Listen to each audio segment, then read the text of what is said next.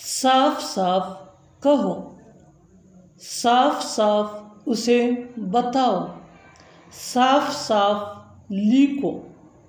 साफ़ साफ़ पढ़ो। इन जुमलों में हम बोल रहे हैं साफ़ साफ़।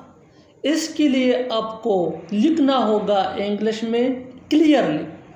आई ए कंप्लीट स्ट्रक्चर समझते हैं. After learning this advance English infrastructure you will be able to speak such sentence in your every day converse so watch this video to end how allow complete structure sentence plus clearly sentence ये situation के हिसाब से होगा.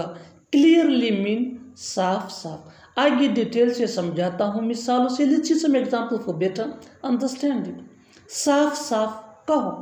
Speak clearly speak clearly साफ़ साफ़ उसे बताओ।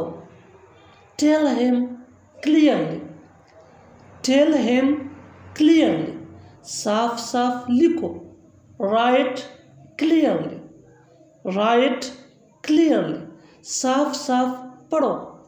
Read clearly read clearly और आखिर में ये सेंटेंस आपके लिए कमेंट सेशन में इसका जवाब ज़रूर देना। Keep this point in your mind that advance English infrastructure important for spoken English that can take you from basic to advance level so, learn and practice this advanced english instruction as much as possible so that you can get influency.